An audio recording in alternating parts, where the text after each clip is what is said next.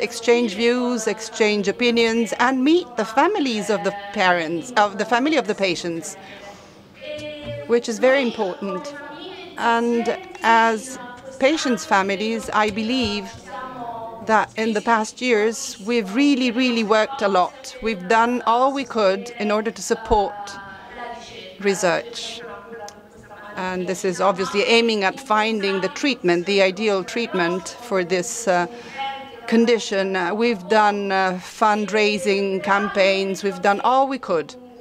And now I think that we've come to a point where all of us have to stop for a moment, look at what we've done in past years, and we have to understand whether the strategies we've uh, developed until now are still effective and will still be effective for future years.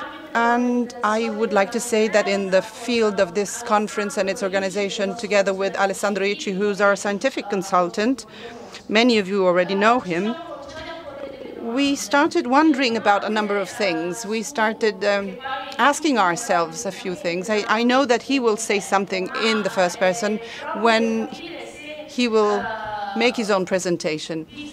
And this is aiming at understanding whether our efforts, your efforts, are sort of getting lost, are thinning down, are sort of uh, going in the right direction. So we would like to take stock of the situation and we would like to sort of make a quantum leap uh, as patients' families, as an association, and we would like to become what today is known as the well-informed patient. So we want to equip ourselves with the tools that uh, allow us to get new insights, to exchange views in a knowledgeable way with all of you, and when the moment will come, uh, be in a position of orienting research.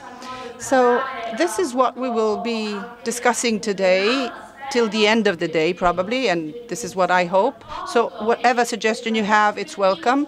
And our goal is the one of starting reasoning already from the beginning of next year, reasoning about our own role and uh, reasoning about what we can still do. No, no more comments. I would like just to take a few more seconds to acknowledge all of the people who are here. I would like to acknowledge the eCampus University which is um, hosting us and supporting us in all ways.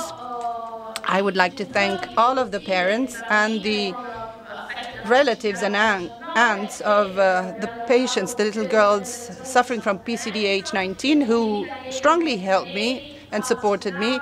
Paola Squillante, Valeria Squillante, ne Mrs. Neri, Mauro Di Giovanni, Raffaele Mannella, and Fabrizio Mistretta. So many thanks to all of you. Many thanks to Alessandro Ricci, the consultant, uh, the scientific consultant, who was of paramount importance. He played a paramount role, a very fundamental role in the past months, helping us to organize this event.